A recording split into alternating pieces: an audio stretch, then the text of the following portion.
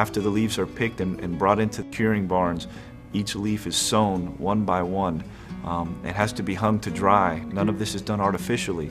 Um, the reality is that, that sometimes uh, you know, the, the art of, of making a great cigar does ultimately begin with, with growing great tobacco. Without great tobacco, you can't do it.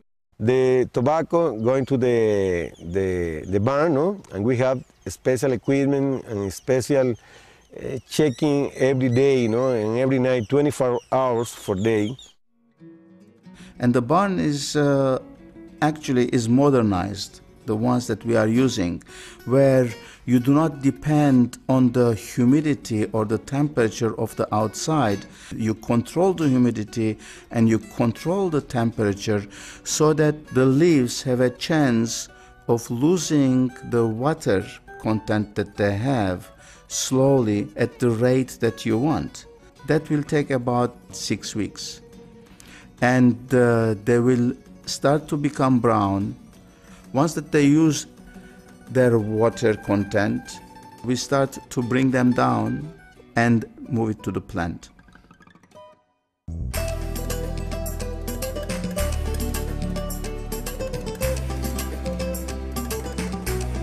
And the tobacco sent to the processing plant. The processing plant, we supervision okay, what texture have in the leaf, no? What leaf is seco, what leaf is viso, what leaf is ligero, no? I'm divided in three different categories this tobacco. And after processing for the fermentation, no? And the fermentation, that depends, okay, this seco, okay, is more like tobacco, okay, need two and three and four months, okay, the viso, okay, is, I use, okay, six or seven months, and the ligero is possible eight, ten, or it's possible 12 months. The moisture and the tobacco leaves, when you put them on top of each other, uh, they will put pressure on each other. And the tobacco will start to generate heat within itself. And uh, it will, the heat and the moisture will start a fermentation process which will make the tobacco leaves uh, smoother.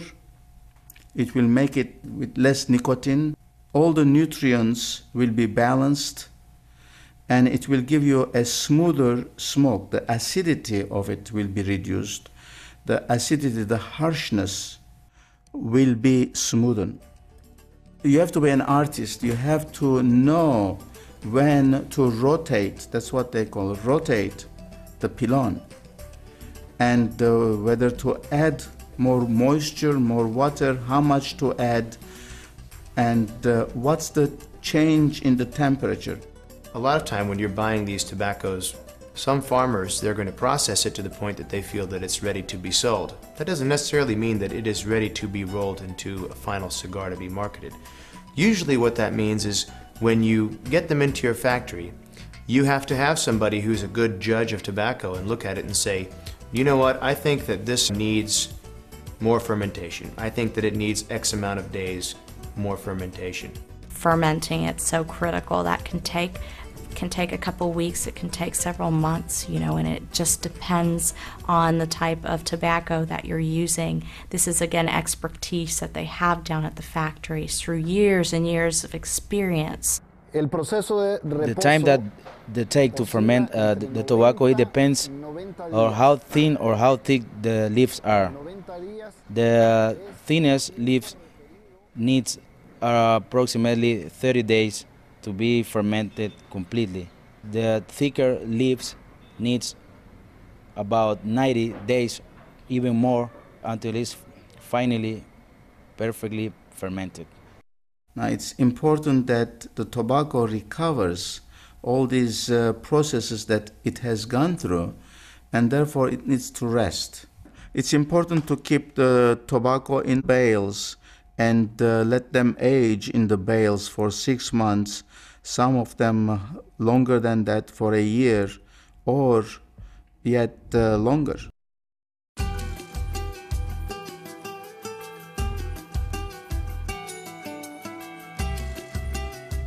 The next step, too, is to come out with a blend that marries well um, the, the, the wrappers, the binders, the fillers.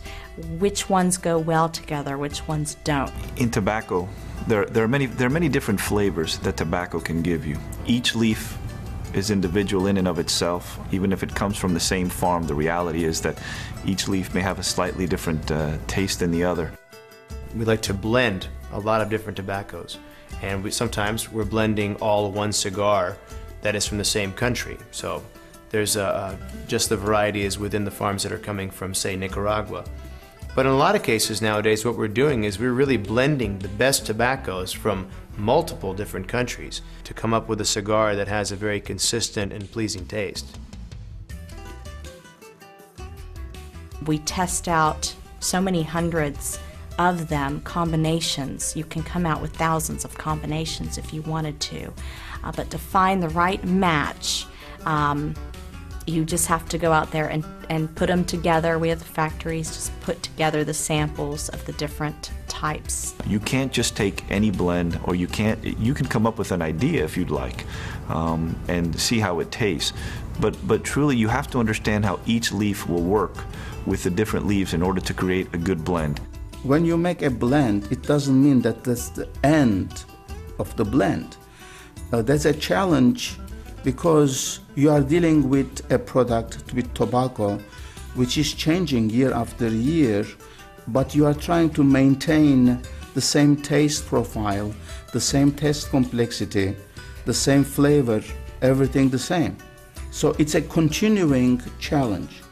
But what we are trying to strive is quality so that every cigar gives the utmost of the pleasure to the consumer in order to reach, you know, in order to get to that point where you can have a blend of all the different tobaccos, uh, we needed to go out and get the best tobaccos available around the world, to have the, the experts in tobacco, to bring out the best of all these different flavors, to combine and bring unique blends to the market.